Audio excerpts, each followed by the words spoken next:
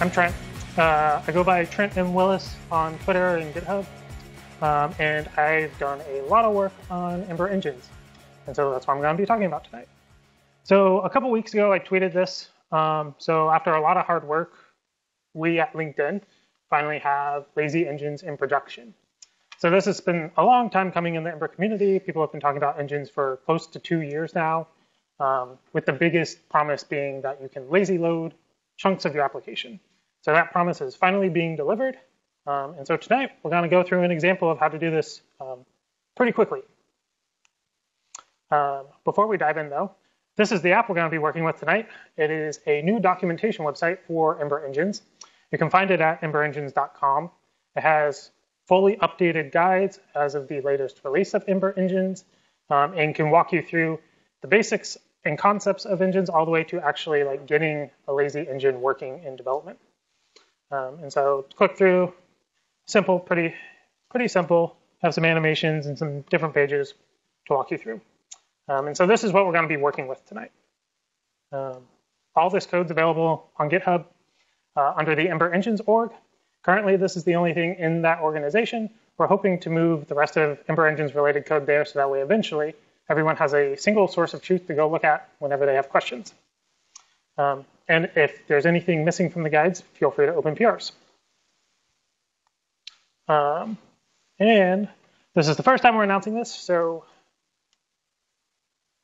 obligatory tweet about. It. Okay, so let's dive in. Um, I have the app up and running locally. Um, as we can see, everything works. Click around, really simple. Tests are passing, everything is great. So we're gonna switch over to our command line and kill the server. And like a good dev, we're gonna check out a new branch. Um, I use lots of aliases for my command line, so I will try to make sure I comment on what exactly I'm doing as well. So we check out a new branch. Um, and the first thing we're going to want to do is install Ember Engines. So by default, a lot of the behavior for engines is upstreamed into Ember Core.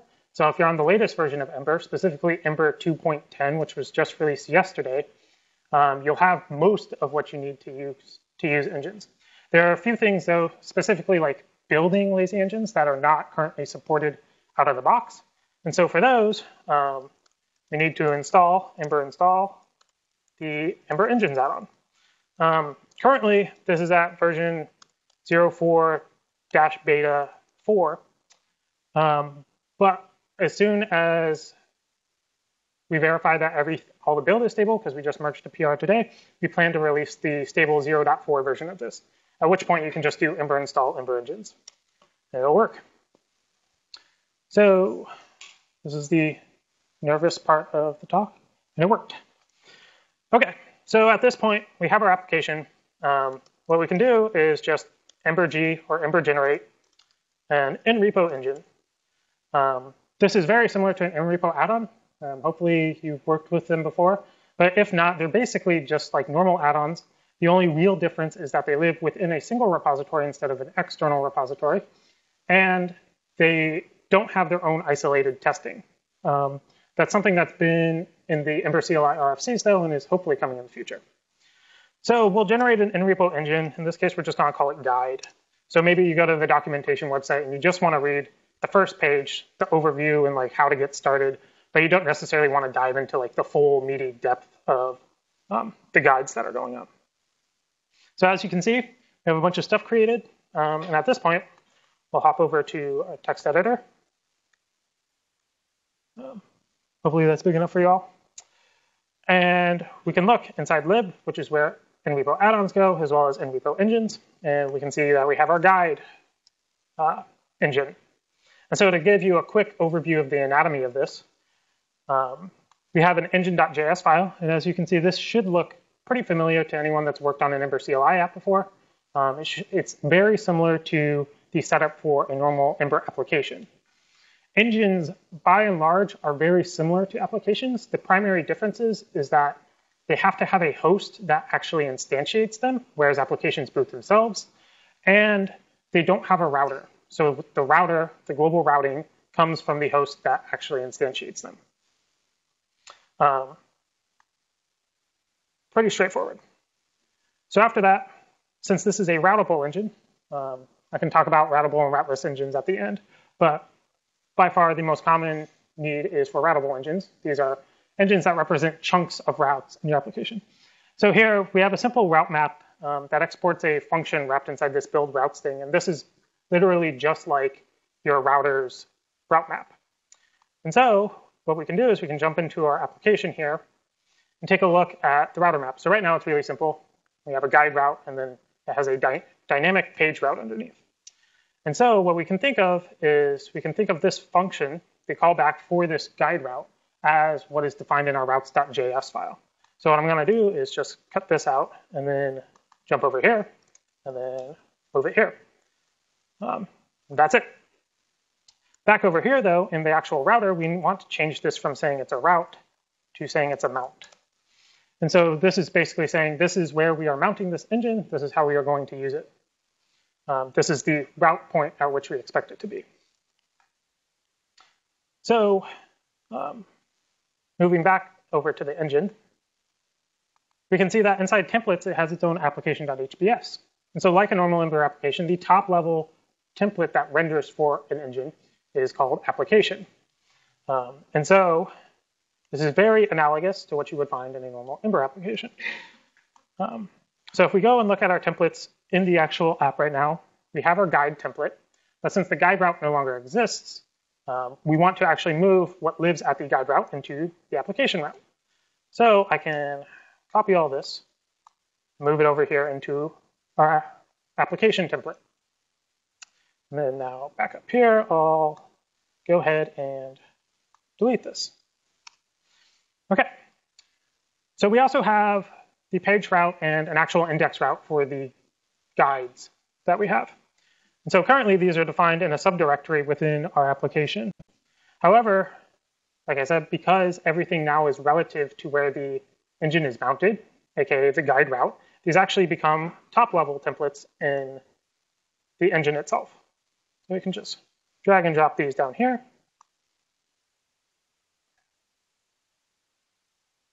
And that's about it. So we can go ahead and delete that folder as well. Cool. So moving on, uh, we also want to make sure that we move over the corresponding like JavaScript for all this stuff. And so similarly, if we have our guide routes, JavaScript files. Um, these are all pretty straightforward. Um, nothing really specific to engines any, anyway. They have some imports, um, and they like return some static data that we use to generate the guide content. Um, so in our engine, we'll create a new folder. Just call it routes. Then we can drag and drop these down here into the routes.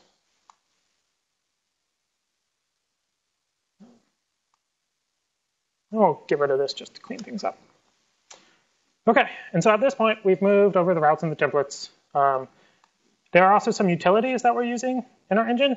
Um, and thankfully, these aren't actually used by the main page. So we can go ahead and just like drag this whole folder into here. So this is the majority of what is actually involved in moving code from an application into an engine. Um, it is literally just like moving it from the application proper into the engine itself and removing any namespaces that have already been applied. Um, so one thing that we'll want to look at here is, for instance, um, our route JavaScript files, since they used to be nested within a um, within a guide namespace, they're actually nested too deeply, or these imports are assumed to be nested too deeply. So we should cut one of them out. Um, do this over here as well. Okay, let's close out of some of these tabs. So at this point, we've pretty much moved everything over. Um, so let's fire our server back up and see if it works.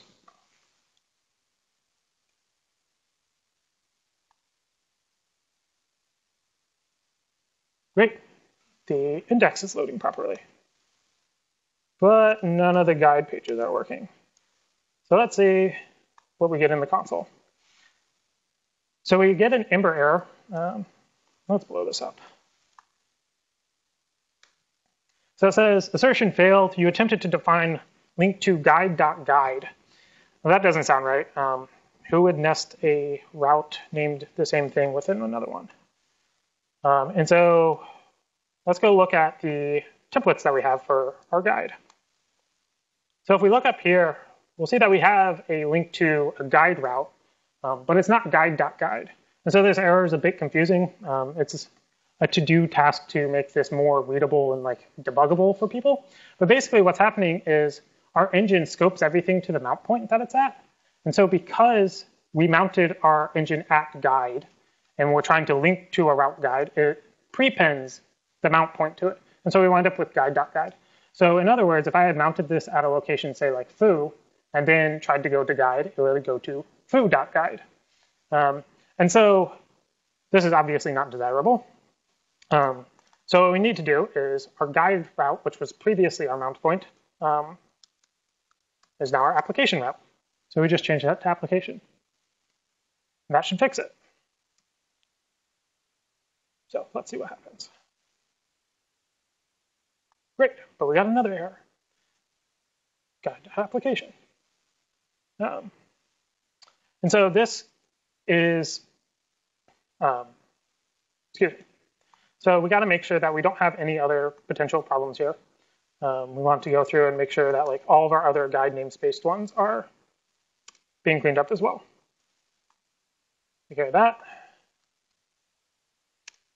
And take care of that. Oh, not that. This is actually supposed to be index. Um, similar to the way that like your normal Ember application works, you usually don't want to link to application directly. You actually want to link to your index route. Um, and so for the guides, that is actually a table of contents. Table of contents. So at this point, it's rendering, but there's nothing on the page. We don't get any errors. So uh, what's going on? Well, so earlier I mentioned that we have some animations going on. And in here, we're using a liquid outlet. So unfortunately, uh, we need to improve the errors in this case as well. But this just means that like it's trying to render something into the liquid outlet, but it doesn't know about liquid outlet because engines have their own namespaces. And so even though our global application is using liquid fire, um, our engine itself doesn't know about it. So this is thankfully easy to fix once you get past the unintuitive, like it's not doing anything. Um, all we have to do is add it to our package.json file. So we can specify, oops, liquid fire. And then we peg it to a star version because we want it to just use whatever version is available in the host application. Um, this would be different if it was a standalone engine and not an in-repo engine. And in that case, you would actually want to peg it to a specific version. Um, but for simplicity's sake, everything is in repo in this talk. So we also have several other dependencies that we have. Um, so Ember Remarkable is one. Uh, that's how we uh, actually display the guides and all the content on the site because it's written as markdown files because no one likes to maintain raw HTML. Um, and then we have Ember FR markdown file, which is another add-on. Um, and all that does is make it so that way you can have your markdown files live in separate directories and they still get pulled in properly, rather than having to like inline the text into your templates. So great. Save that out, kill our server, and restart.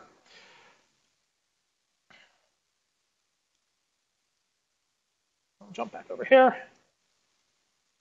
And ta-da, everything is working. Kind of. Um, doesn't look like our animations are working properly.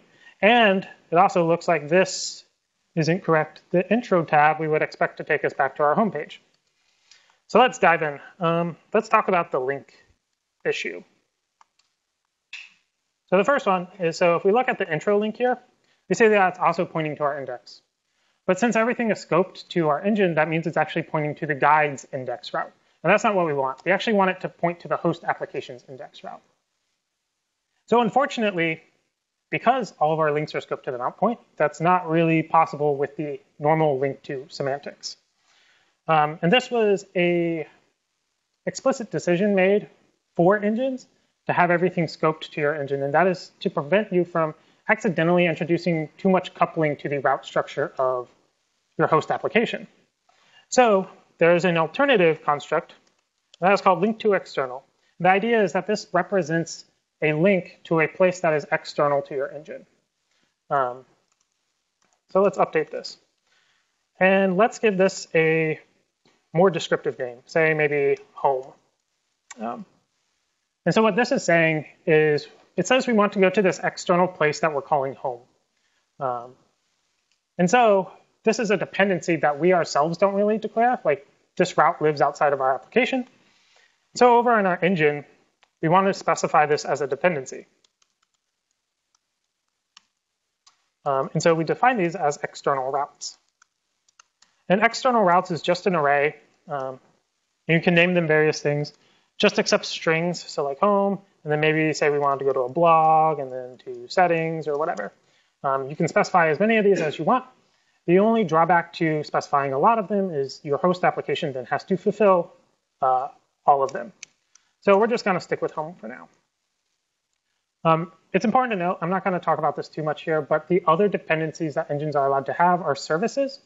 And so host applications can pass in their services into engines. So that way you can share certain state, such as things like maybe Ember Data Store. So at this point, um, we've defined our dependency in our engine, but now we also want to make sure that our application is doing the right thing to, to fulfill that dependency. So we specify a property called engines. Um, and then within this object, all the keys are the names of whatever engines you are mounted. So in our case, it's guide.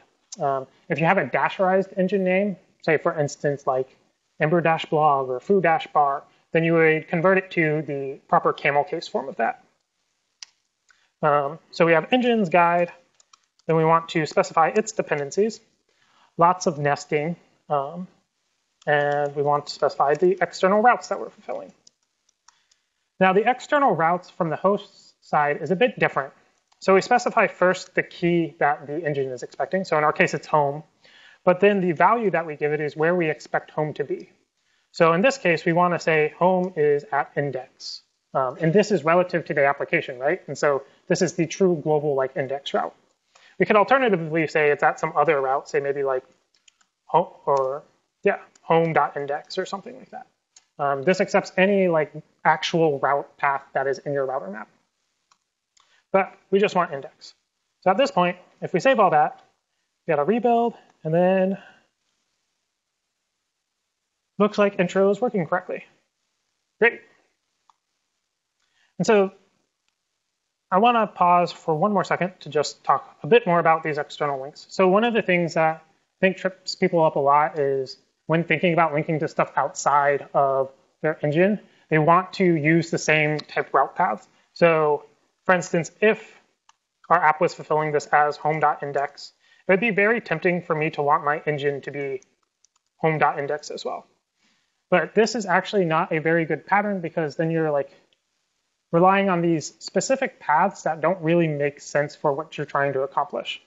So the thing that I always tell developers when introducing this concept is to think of external routes as, from the engine side, as specifying what you want to go to. And then it's the application's job to tell you where that thing is. So like in our case, our guide is saying, I want to go to the home route. And then the application is saying, well, the home route is located here. And that prevents you from coupling yourself to your host application. Great. So that's working. So the last thing that we have to figure out is why the animations aren't working. Um, so none of them are working, even from like the top level homepage to the guide page. So let's go take a look at our transitions.js file. Um, if you haven't worked with Liquidfire, uh, I apologize, this might be a little bit confusing. Um, I would encourage you to use it. It's a really cool library. Um, and so let's just go through these one by one. So our first transition is supposed to be from our index to our guide route. Um, but this doesn't seem to be working right. So let's throw this.debug in there and figure out why. So it says rule zero, oh, here, not important yet. Now if we transition, it was rejected because new route was application. So we're trying to match index to guide route. But what we're getting is actually index to the application route. And so this is a bug that I actually discovered today as I was prepping for this talk. And we'll have to be fixing it in Liquidfire. But so apparently the scoping semantics that come into play with engines aren't properly translated into how Liquidfire does its route matching. So what that means is that we actually need to specify application route, which is not great, but if we refresh, it looks like it's working now. So if anyone has time, please submit a PR. Great. So now let's talk about these other ones, though. So these transitions um, are between the guide index and the guide page. So like between our table of contents and between the actual pages. And then this other one is within the different pages. So within the page content, there's a liquid bind that's used. These are scoped to the engine and only happen within the engine. So really, we should be trying to make sure that these transitions also live with our engines. So what we're going to do here is we'll just go ahead and copy over this entire transitions file, um, go into our engine again, and then add a transitions.js file, and then paste. Now this global one we don't really need here though, because that doesn't apply. And then we want to make sure that these are properly scoped. Um, and let's save that. And then while we're at it, we should probably remove them from the global one and then save that. Okay, rebuild done. Uh-oh. So unknown transition, smart fade. So smart fade is a custom transition written uh, within this application as another in-repo add-on, part of this scroll tracker thing. Uh, it was a simple animation or transition I added, so that way it doesn't Liquidfire doesn't jump to the top before it transitions. Um, just makes for a nicer user experience, in my opinion. But so what that means is that our engine actually has needs to depend on the scroll tracker add-on as well. So what we can do is we can come over here. We can specify Ember add-on.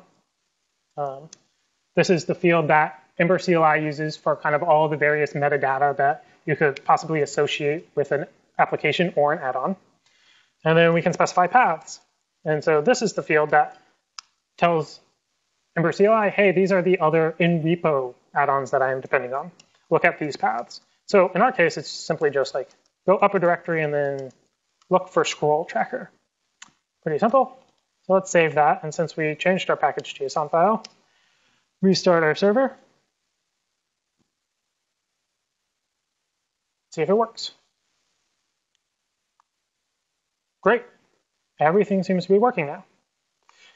Let's go check our tests to see if that's if those are still working as well.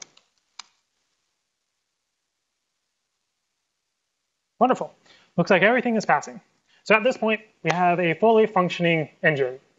Um, and this is the route that I encourage most teams to take when they're moving to engines, is to do it first in this fashion, because everything is still eagerly loaded, which means that the risk for things going wrong is a bit less. Um, if you were to jump straight to lazy loading, you have to make sure that you do the entire migration at once, make sure everything is completely isolated, and overall, it's much more likely to lead to just landing one giant like PR bomb into your code base, which is not fun to review or to really work on. So at this point, though, everything's working, which is great. So let's talk about how we actually make it lazy. So you'll notice over here in my terminal that we get this deprecation every time. Um, it says guide engine must specify the lazy loading property to true or false as to whether the engine should be lazily loaded. Um, and so what this means is in our index.js file, uh, you actually need to specify a lazy loading flag. So by default, this um, this defaults to false because we don't want to opt people into this like relatively new and kind of wonky behavior. Um, and so we keep the like simple tried and true path as the default.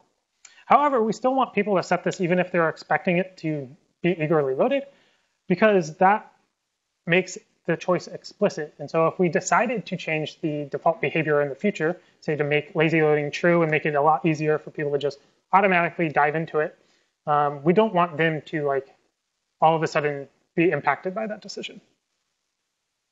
So this is what it is implicitly right now. Let's just change it to true. Then if we kill our server and serve again, let's see what happens. If we go to our index route, the index load's fine, as is to be expected if we're doing lazy loading of something. Um, but let's keep an eye on all the requests that are happening in the browser. So if we switch to the guide tab, we have all of our lazy engine assets loading.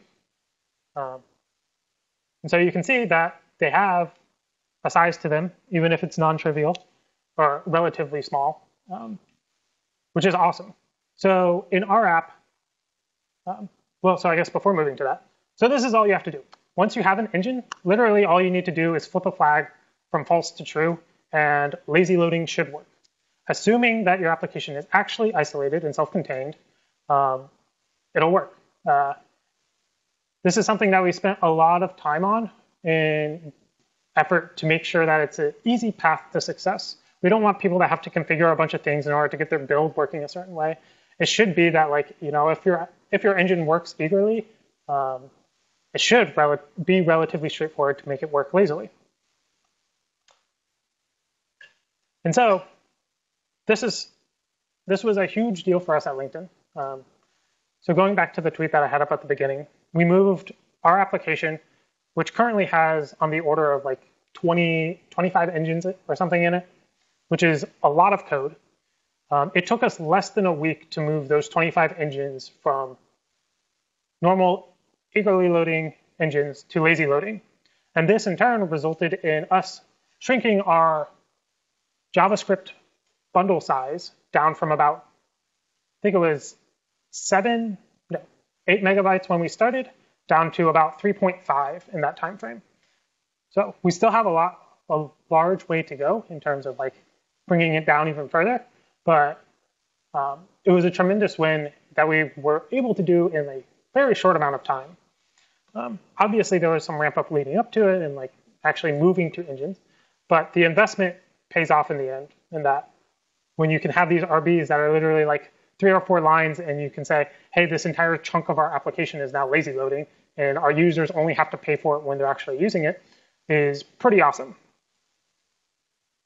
And so, to wrap this talk up, um, let's go. GFR tester still working. They are.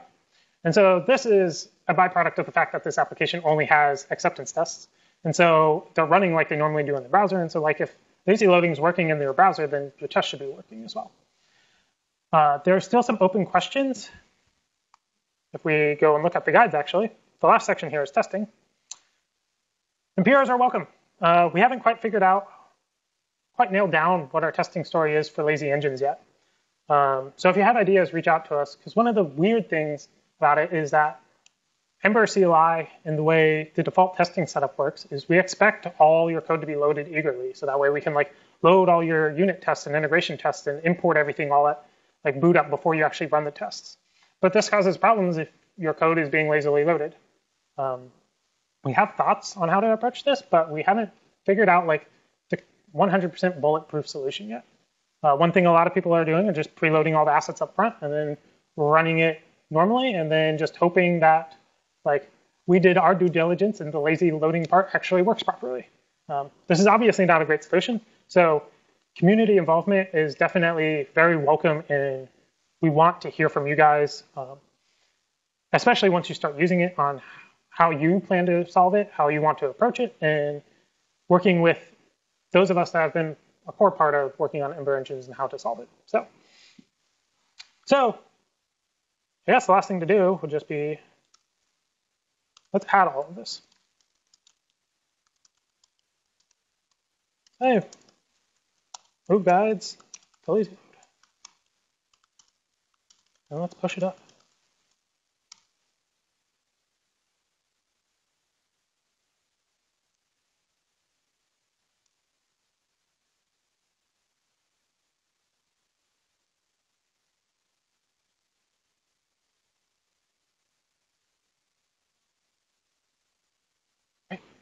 That's it.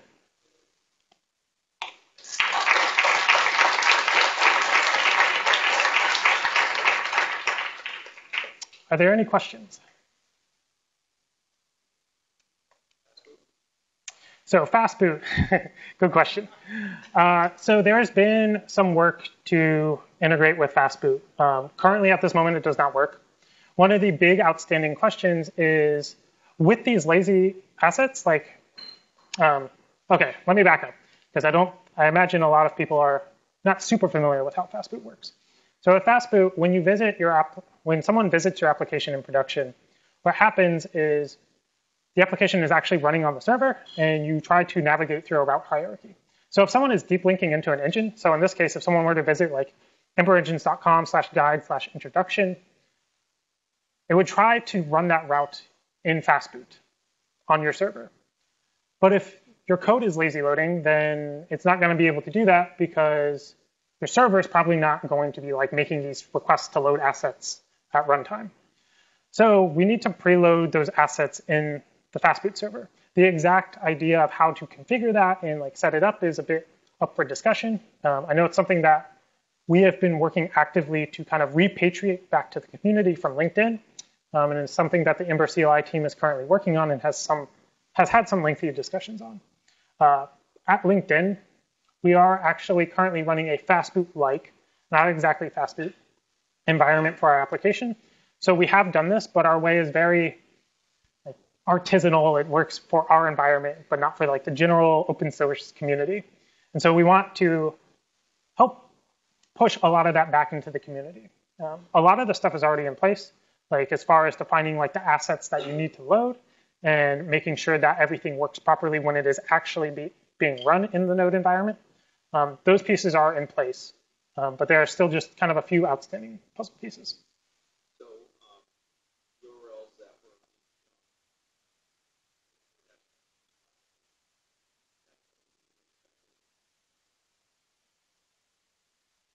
So uh, the question was around the asset URL. So right now, everything gets built into engines dash dist slash engine name and then the name of the asset file.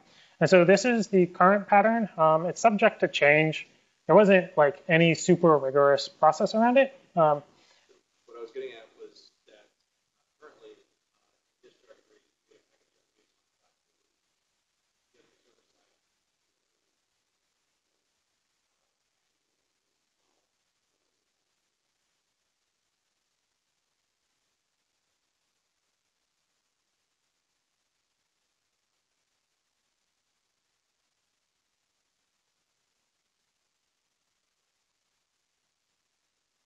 Okay, so the way Fastboot works currently is everything basically goes into package JSON, and then you can install stuff into the server side that way, correct? Uh, no, not everything. Um, only certain. So like moments.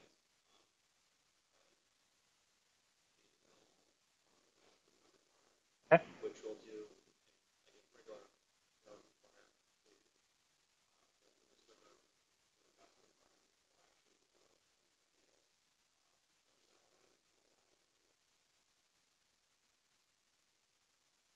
Okay, so about specific server-side dependencies, I'm not sure how it is going to work with Fastboot.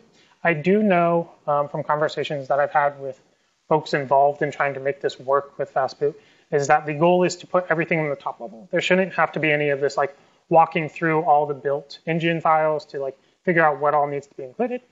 Um, we sort of do this today. Um, at build time, we generate a asset manifest, and this specifies all of the assets that should be needed to load the engine on the client.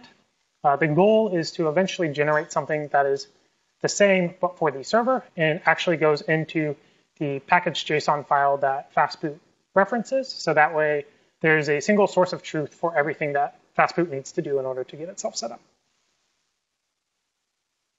Yes?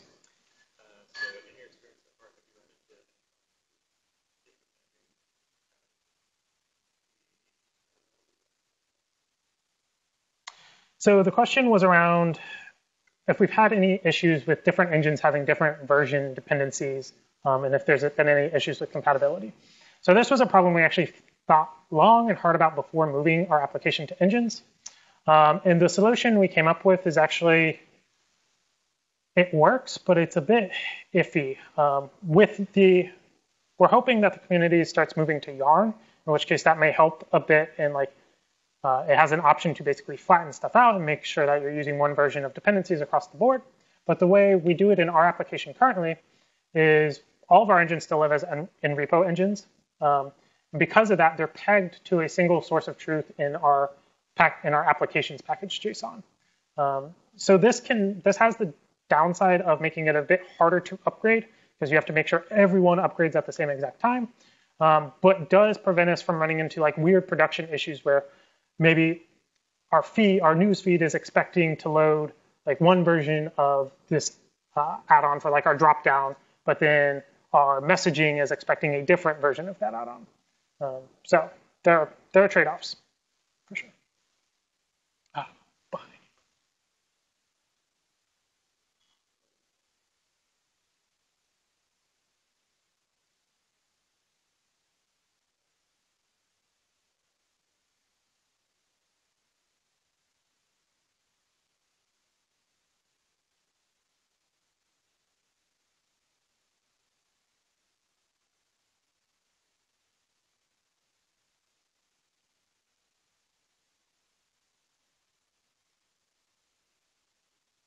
So the question is basically, how do we identify all the edges of the engines as we were moving to them? Um, and then if we ran into any production issues, like how do we like, you know, mitigate that risk? Um, especially as you move to eagerly loaded engines before you move to lazy engines. So there's definitely some risk involved here. Um, we did have some issues with like not actually fully isolating engines before trying to roll them out to be lazy engines. Um, and unfortunately, there's no super great way of doing this statically at this point in time. Um, one of the like cool, but then kind of frustrating things about Ember at some points in time is the fact that we have a resolver and we can do things like dependency injection. So while these are great and allow us to build dynamic applications, it can also make identifying these edges hard because you may be injecting something, say like Ember data store gets injected into routes, um, but you may not necessarily think of that like as an explicit dependency of your engine. Um, so thankfully, these errors are really easy to catch most of the time, and that like if you run your app with a lazy loading engine, uh, it usually just like blows up. and so you should be able to catch this before you get it to production. Um, the off chance that you don't, though, uh, our advice would be to just roll back and quickly fix it, or if you know exactly where I went wrong, fix forward. Uh, we want to invest more in static analysis, and we've been looking into like developing add-ons to help enforce constraints on the way you build Ember applications to make them more statically analyzable. So that way we can easily tell you like at build time, hey, you're using this thing over here, but it doesn't seem to be a dependency of this. Like you might have problems when you run your application.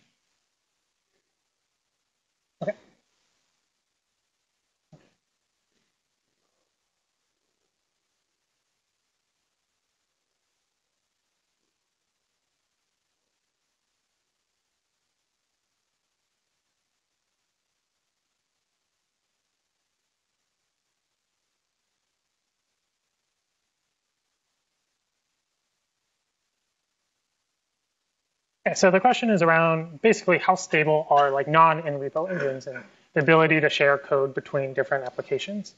Um, so we haven't done a whole lot of this here uh, on the project that I work on, but from everything that we've experienced uh, and a lot of the feedback we've gotten from the community is they seem to have more or less the same uh, stability as in-repo engines do at this point in time.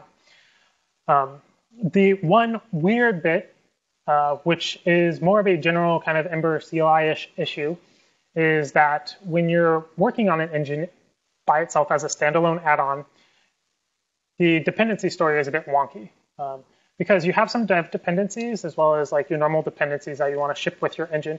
But when you do the testing, the dummy application that works to test add-ons um, uses both those like development dependencies as well as the normal dependencies. So this can lead to some like weird dependency graph problems um, that we're trying to get a better story around. But for the most part, I would say go for it. Um, if you have any questions, jump in the Ember community Slack. Um, now that things are kind of slowing down a little bit at LinkedIn. We, will hopefully have more time to help support you guys. Um, but there have been several other folks in the community that have really jumped on board and have been helpful at answering other people's questions and then just like providing support for common issues and things like that. And if you find an issue that you firmly believe is actually a problem with Ember Engines itself, as always, open an issue on GitHub or submit a PR. Thank you.